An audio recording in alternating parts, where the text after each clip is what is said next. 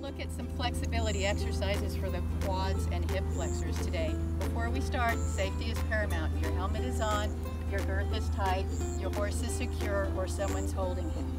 All right, hip flexors are up here, quads are here. We need to be sure that we're not overactive in those muscles or we'll tend to have a short leg when we ride. What we want to do is gently take the foot out of the iron, bring that heel back into your hand, looking straight ahead and sitting up tall. Just bring that heel up till you feel it. It shouldn't hurt. If it hurts, you're trying too hard. Just nice and gentle stretch.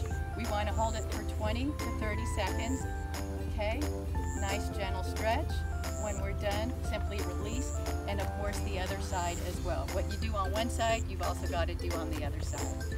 Okay, thanks. I'm Julie Snyder, Program Director at Keiser Equestrian. My trusty Steve here, Willie, and have a great day.